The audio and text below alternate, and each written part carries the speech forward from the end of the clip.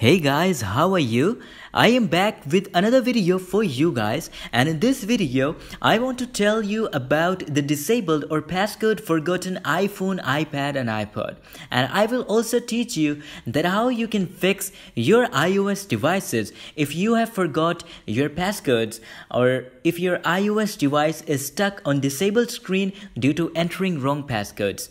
So before going ahead to the tutorial, there are some points that I want to tell you is that when our iOS device is stuck on disabled screen or you forgot your iOS device passcode, so in this case, you can easily fix your iOS device. But unfortunately, you cannot retrieve your iOS data. You will lose all of your photos, contacts, everything which is on the iPhone. There is actually no way to get the data. You will lose all of your phone's data. If you have previously created any backup of your data in your computer or in your iCloud account. So that will be an only option for you to recover your data. Otherwise, you are unlucky. And if your iOS device stuck on disabled screen or you forgot your passcode, so in this case, you cannot fix your iOS device without having a PC. You need a computer for that in order to fix. If you don't have it, you can ask your friend for helping you out. So now let's get started to the tutorial and show you guys that how you can fix your iPhone.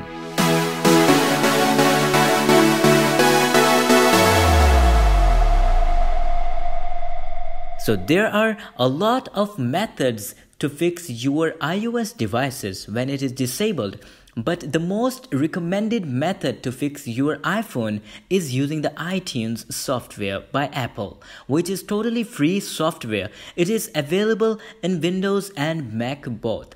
If the iTunes not working for you, so there are also a lot of other third-party softwares online to fix your iOS devices. And in this video, I'm gonna use PassFab which will work as same as iTunes and it is a paid software but don't worry, I'm also giving free license to you guys, a giveaway of PassFab, which you can get by visiting the link in the description of this video.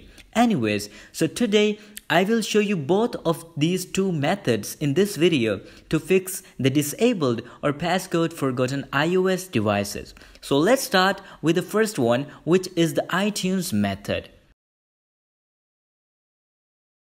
So all you need is to open your browser and visit itunes.com to download the iTunes. You need to install this iTunes software on your computer.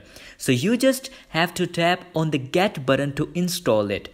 I have already installed it in my computer.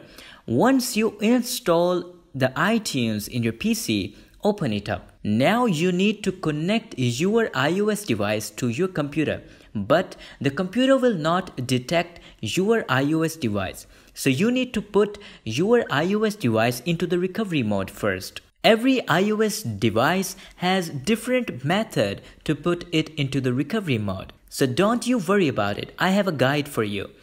If you have an iPhone 8 and newer devices like iPhone 10, iPhone XS, iPhone XR or iPhone 11, you have to follow these steps to put your iPhone into the recovery mode.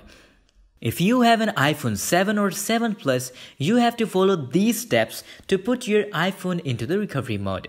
If you have an older iPhones, so you will need to follow these steps to put it into the recovery mode. If you have iPad or iPod, please see the description of this video for a guide to put them into the recovery mode. It is just a volume and home button trick for entering the iOS device into the recovery mode. Once you enter your device into the recovery mode, the computer will detect your iOS device. Now you may see this pop up on iTunes. Now just close it and you need to tap on the restore button. Now tap on the restore button and update button. Now tap on next, tap on agree now, the iTunes will going to download the iOS firmware package before restoring your iPhone. You must have a good internet connection for faster download. So keep your iOS device connected with the computer and once the download will complete, the iTunes will start restoring and repairing your iPhone automatically. As you can see, the iTunes has started the repairing process to fix my iPhone. You can see the loading bar on the top of the iTunes. Now this process will take 7 to 10 minutes. Uh, keep your iOS device connected with the computer. Do not disconnect the internet also from the computer as it collects some information during the restore process from the Apple servers. If you are having any kind of iTunes error, so make sure that you have the latest version of iTunes installed on your PC or try to connect the iPhone on different USB ports of your computer or change the USB cable. I recommend you to use original Apple Lightning data cable to avoid any kind of errors. Now you have to wait for it to complete. So guys, after the restoring process, you will see the hello screen on your iOS device. Now, you need to set up your iOS device, select language, country, set the new passcode, and all of these things. And you can see my iOS device has fixed using iTunes. I can now use my iPhone. This is how you can easily repair your iOS device. It is very simple. If you are having trouble in fixing your iPhone using the iTunes, now let's move on to the second method to fix the iOS device. If your iPhone is not fixed using the iTunes, so try again fixing your iOS device using the PassFab software. Just visit this website to download the PassFab on your PC. You will find the link in the description down below. So this third-party software will also help you to unlock the disabled or passcode forgotten iOS devices instantly in a single click. This tool is available in Windows and Mac both. You can go ahead, download and install it.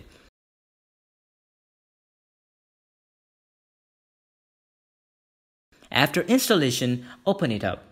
You will see this screen. Now tap on unlock passcode option. It can also help you unlock the Apple ID but right now it does not support for latest iOS versions. Alright, forget about it. Now tap on start button.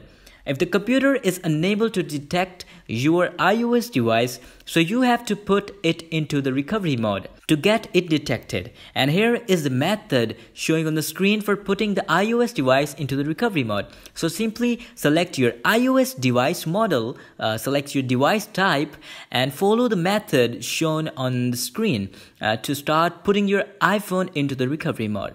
It is just a volume and home button trick.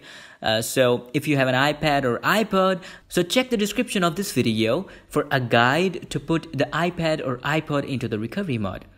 So now connect your iOS device and follow the method shown on the screen to put it into the recovery mode.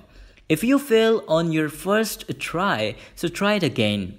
Now go ahead and here you will see the download button. It will start download the latest iOS version firmware package which will help us to factory resets our iOS device and also update uh, it to the latest iOS version. Now tap on the download button and now wait for it to complete the downloading process. It may take time to download the file depends on your internet speed because it is about 3 GB file Keep your iOS device connected. After the download finish, it will going to start preparing your iOS device. It takes about 7 to 10 minutes. During this process, make sure that your computer is connected with the internet. If you are having any kind of error, so try to connect the iPhone on different USB ports of your computer or change the USB cable. I recommend you to use original Apple Lightning data cable to avoid any kind of errors.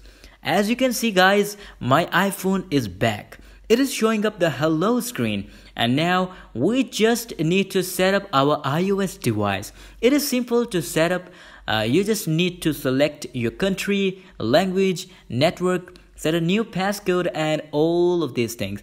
As you can see guys, my iPhone is back to the normal mode. This is how you can fix disabled or forgotten passcode iOS devices using the PassFab software. So I've shown you both of these methods, iTunes method, PassFab methods. I hope it will work for you.